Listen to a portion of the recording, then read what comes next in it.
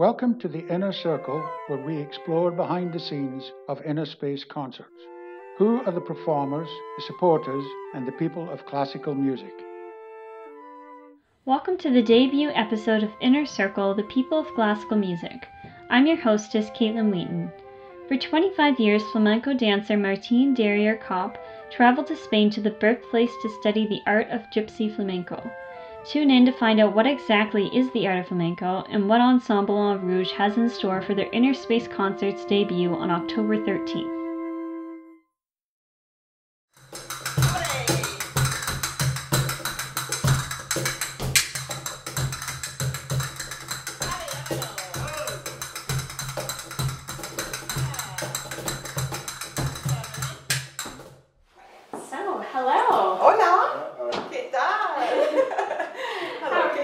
Are you guys? We're very well. We're very excited about our show, actually. So this is wonderful to be able to chat with you. It is. It's wonderful to see you all in your flamenco attire. Flamenco en rouge. We didn't want to disappoint. So, could you guys tell me a little bit more about your ensemble and how you guys got together? Of course. Well, Flamenco en Rouge has been performing for about 10 years now. We perform nationally. Um, many of us train in Spain every year. We've been doing this as a group for, for about 10 years. Uh, Csaba is our latest addition. He's I'm been fairly new since last year. since last year. He's Yeah. joined us as our previous percussionist who went back to England. Um, and we perform a traditional gypsy flamenco style, a very pure gitano gypsy style. And you were going to say, Csaba, you're from Hungary. I was born in Hungary where quite a few gitanos, gitanos, gypsies, or uh, it's, it's a fairly strong influence in Hungary actually in music. There's uh, gypsy music as such.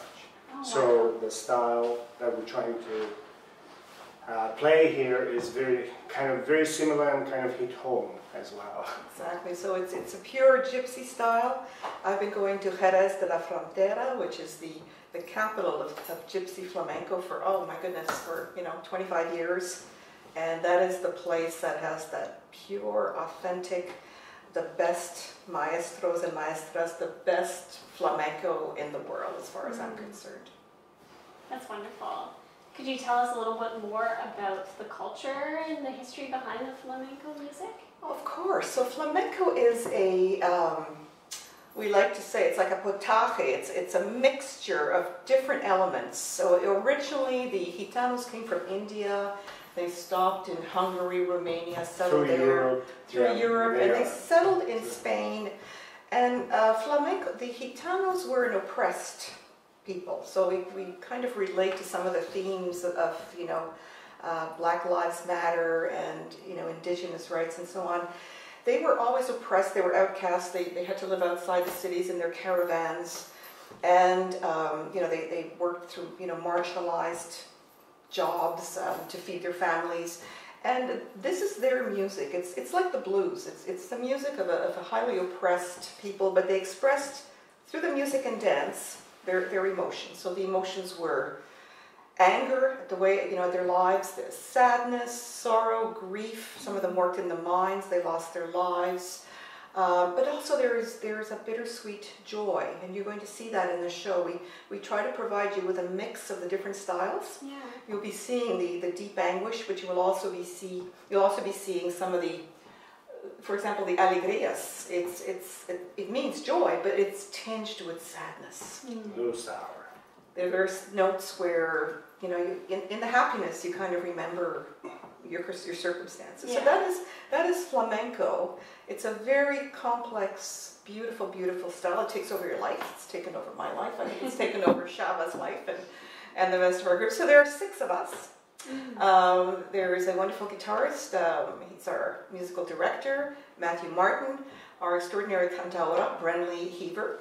Uh, she's the voice of flamenco. She will also act as the host for the evening and, and tell you about what you're seeing, what you're what you're hearing, and, and what it means because it's obviously going to be in Spanish when it's sung. Yeah. So she will translate, she will interpret. Um, Csaba, of course, is our percussionist, and there are three of us dancers. So you're going to get a very colorful um, you, you know, sort of event, and plus to it's sort of in homage to the Inner Space series. Um, there will be classical Spanish guitar as Mm. well. So Matthew Martin has prepared an amazingly beautiful program of Albeniz, Granados, de Falla, and we're going to give you the, the classical Spanish, but we're going to also interject in there, intersperse some flamenco. Yeah, that's so interesting. The I think a lot of people are interested in learning the culture and history behind it because a lot of times it's not talked about. So I That's right. appreciate you sharing that and. Yeah, it's going to be a really interesting, different concert for us. We've never I had think flamenco so. That's in our right. space, so we're all excited. Well, I mean, it's it's not going to be the quiet chamber Yeah. music, that's for sure. Though some of the guitar will be, you know, beautiful lyrical pieces, of course. But we're also going to sort of give you some of the fiery flamenco as Yeah. well, with the footwork, the castanets, the shawl. So, uh, sort of a, a visually dazzling. We're colorful. Yes. so, how did you both learn the flamenco music? How long did it take you to train this? Well, here's a connection. Um, several of us are classically trained in music. I have a master's in musicology myself from Université Montréal, and our, our guitarist Matthew Martin is a, is a European trained, a graduate of Acadia in classical guitar, um, has um, several degrees from European universities as well. So he's a classical guitarist. Csaba is classically trained in Hungary. Piano, well, I, I went to actually two jazz colleges, and one of them was in Budapest, and uh, the piano was always my second instrument, and then I, I started taking the RCM here in Canada, actually, wanted to know more about it. So it was very classical, obviously. And I had another jazz college uh, in Australia as well, I went to. So, and plus where I was born, Hungary, as I was saying. Before the, you're living there, so you hear that kind of Music music. everywhere. Yeah. It's, it's Yeah. quite a Yeah. sort of a dynamic Yeah. musical center. so- So some of us already bring that classical music connection. Um, I was attracted to flamenco because of its extraordinary musical complexity. Hmm. It is, um, it's like, you know, blues or jazz. It's its own language, but it's not a simple language. It's a very, very, very complex language. For example, we, you know, count on 12,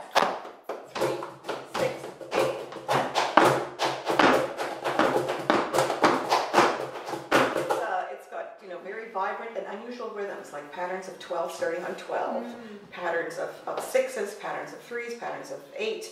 So these all have to be learned, and because they're they're transmitted orally, like blues. You're not going to find a lot of flamenco scores.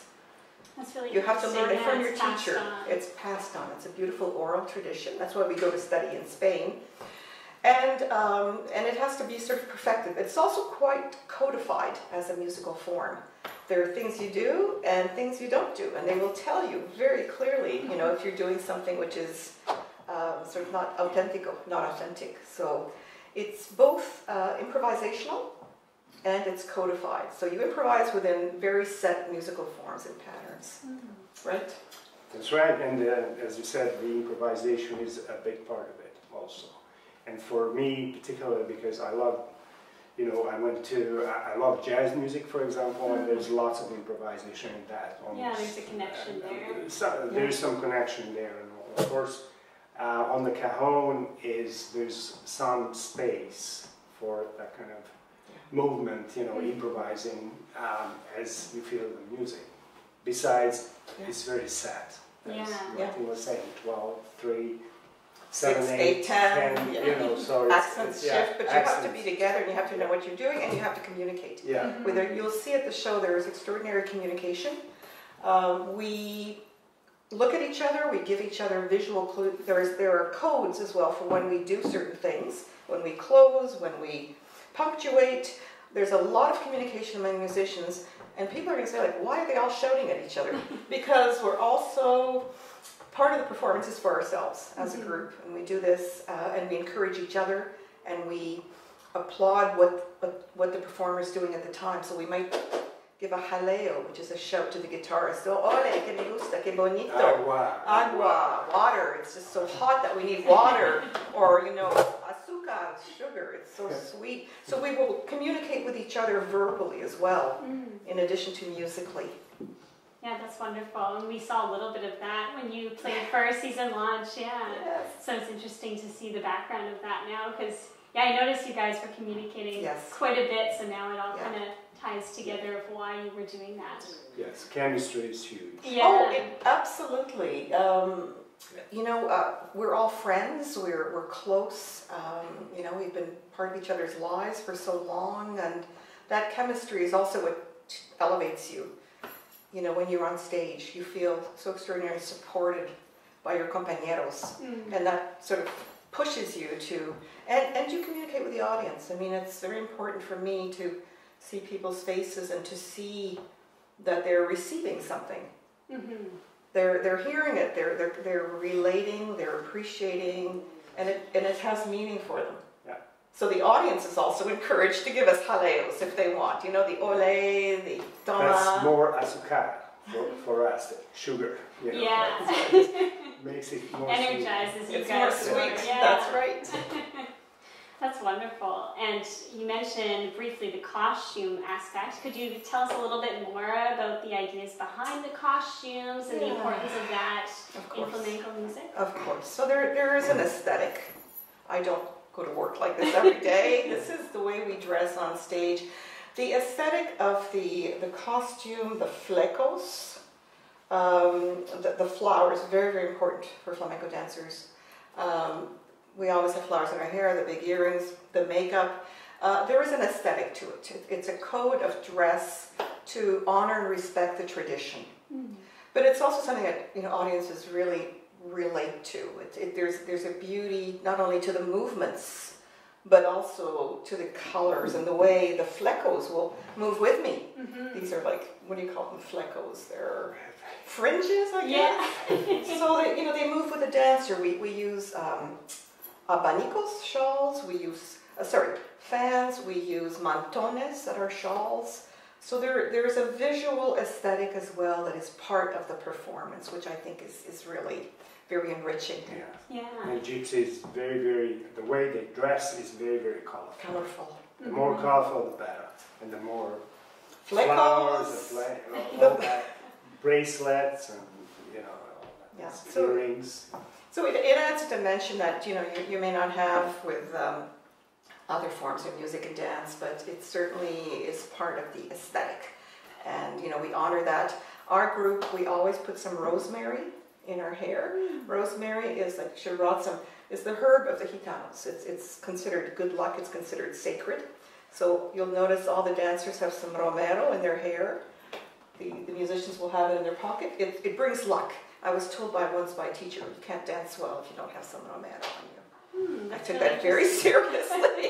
and you know, the gypsies are always trying to sell you romero in the street. That's and, and they, they give you romero, which means remembrance, and they want to read your fortune. Hmm. And you always, always accept and always give them something because it's it's considered good luck. Hmm. So that is another part of the tradition. So you can look for the rosemary when we perform, and you can look for all of these other visual accoutrements. we'll have to dress you up. Yeah, exactly. I feel left out. I should have worn red No, today. we, we'll bring you some. Oh, thank you. We'll bring you some flowers and earrings. It would be fun actually if you Yeah. also took part in that. So, did you choose red for a specific reason for your ensemble, or is there any significance to the color red? Well, it, it is really the color par excellence. I'm French, so rouge for me, and you know the, the original one of the original dancers was also French, and we said that's that's a great little connection that brings our French heritage with the, and that's how we stayed with flamenco en rouge over the years. And you know, as we performed, we became well known, even though there were more than francophones in the group. Um, it's also the color of flamenco. I mean, that's why you know Mhm. it's our favorite color. and You'll see at the end we come out in a, in a big ensemble, a dance. All the dances will be in red. It's just visually dazzling. It's the color of love. It's the color of passion. Mm. And there it is. Yeah, it's wonderful. It really sticks out, and yeah, it has that fire behind it. Can't miss us. Yeah. Well, That's great. Well, is there anything else you want to share about your concert coming up on October 13th? We're very excited. We're very Yeah. appreciative of Looking forward to Jack it. Chen and Inner Space to be presenting us at a time of COVID. Mm.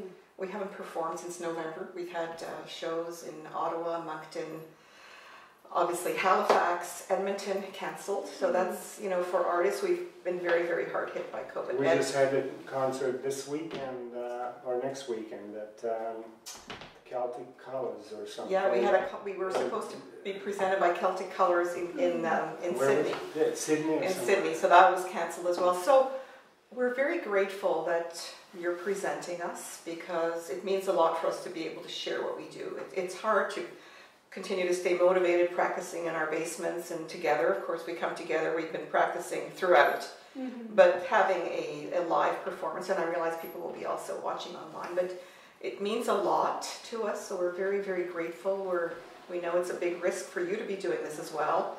Uh, Jack is like extraordinary. Um, he has a wonderful vision, and he's just so delightful to work with. And if we, I have gone to many of the inner inner space concerts. So I know the series. I think it's a beautiful idea. Uh, anyway, to have, you know have these intimate. Uh, I've heard piano and clarinet, and, and of course flute. Um, and so, thank you. We're, we're, we can't wait to do what we do for you, and we promise you a, a very dynamic show. Yes, and thank you for taking part. I know everyone's quite excited to hear something different and new Mm-hmm. that hasn't been done before, so we're really looking forward to having you. Thank you, Katelyn. We look forward to it. Thank you. So you can still get Gracias, tickets for yeah, Yes. gracias. Yeah, muchas gracias. You can still get tickets for October 13th's concert, Flamenco Rouge.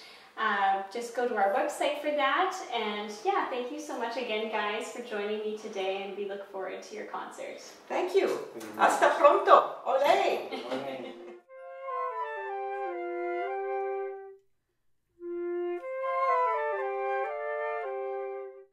The Inner Circle theme was composed and performed by Katelyn Wheaton.